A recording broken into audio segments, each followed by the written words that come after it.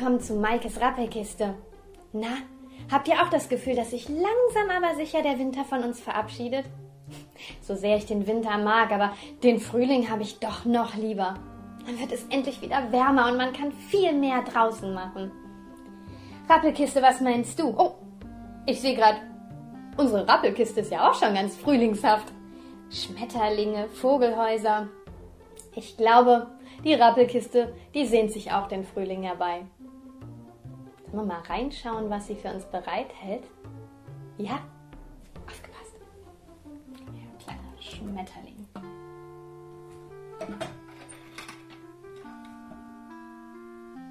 Ja, die Rappelkiste wünscht sich auch den Frühling.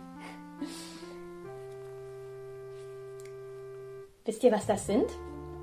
Das sind Zwiebeln also keine Zwiebeln zum Kochen. Also ich kann mir jetzt daraus kein Mettbrötchen machen oder sowas. Nein, das sind Blumenzwiebeln.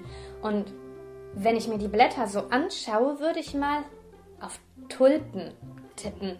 Hm.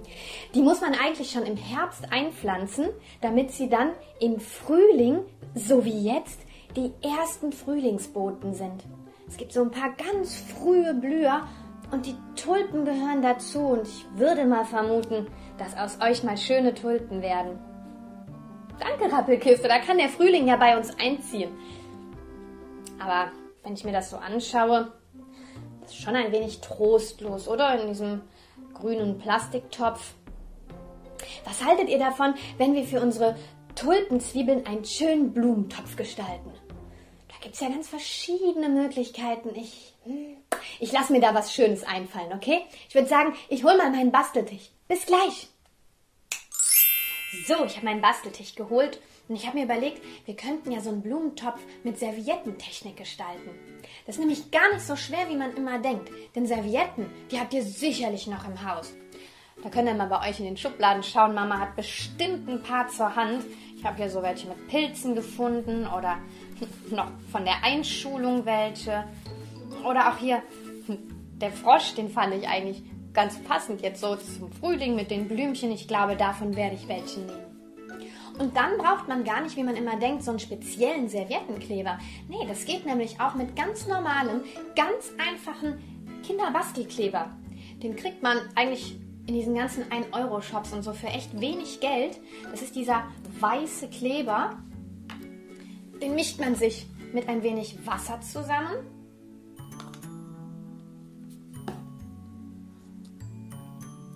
bis der so eine milchliche Farbe bekommt, nicht ganz flüssig ist, aber doch schon annähernd flüssig wie Wasser. So, alles gut durchrühren. Dann brauchen wir eine Schere, um uns aus den Servietten das auszuschneiden, was wir gerne hätten. Und natürlich einen Tontopf, einen Blumentopf. Das ist jetzt ein ganz schlichter oder aber ich habe auch schon mal hier so einen vorgrundiert. Das habe ich mit Fingerfarben gemacht. Man kann das zum Beispiel hier mit solchen Fingerfarben vorher anmalen oder vielleicht habt ihr auch ein paar Plackerfarben zu Hause. Wasserfarben hält leider nicht so gut, geht aber auch. Das müsste man halt trocknen lassen, deshalb habe ich das schon mal vorbereitet. Man kann das aber auch einfach auf einem braunen Tontopf machen. So, dann finde ich zum Frühling passen eigentlich hier diese Frösche ganz schön. Da müssen wir jetzt erstmal einen ausschneiden. Vielleicht nehme ich auch die Froschkönigin. Gefällt mir fast noch besser als der Froschkönig.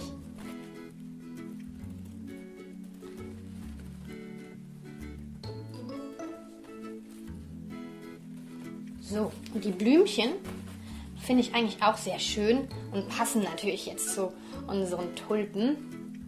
Und wunderbar in den Frühling, die schneide ich auch noch mit aus.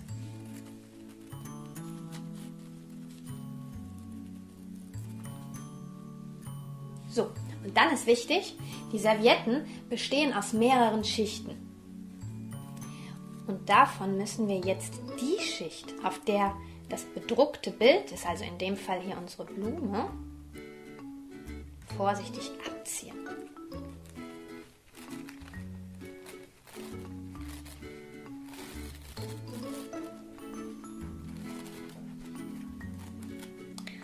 bisschen Feingefühl, dass es nicht kaputt geht.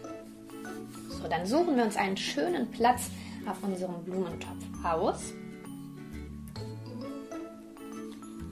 Legen das da drauf und bestreichen es dann komplett, also die ganze Serviette, mit unserer angerührten Klebermischung.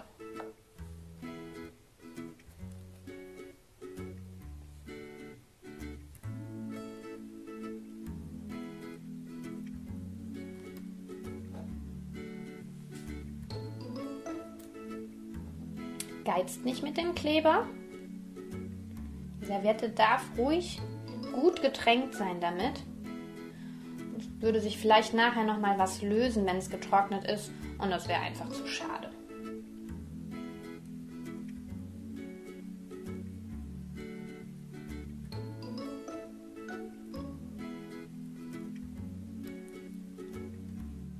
Das mache ich nach da oben. Und dann wieder Kleber. Klipp, klipp, klipp, klipp, klipp.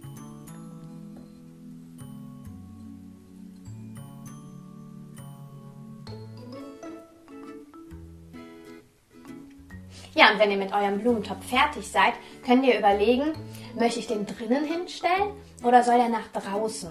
Wenn ihr nach draußen stellen wollt, dann wäre es in der Tat wichtig, dass ihr noch eine wasserfeste Schicht drauf macht. Ähm, das gibt es im Bastelladen, das nennt sich auch Outdoor, also draußen. Das ist eine durchsichtige eine Art Kleberschicht, die könnt ihr drüber machen, wenn das Ganze getrocknet ist. Ja, und dann wäre der Topf sogar regenfest und ihr könntet ihn nach draußen stellen. So könnt ihr ihn aber natürlich auch einfach trocknen lassen und ihn auf euren Küchentisch oder Esszimmertisch stellen oder vielleicht sogar auf euren Schreibtisch. Wer weiß. Jetzt müssen wir unsere Tulpen natürlich noch reinsetzen. Das ist doch ein schönes Zuhause für die Zwiebeln. Also mir gefällt's. Ich wünsche euch auf jeden Fall zu Hause viel Spaß beim Nachbasteln und wir sehen uns bald wieder. Macht es gut. Tschüss.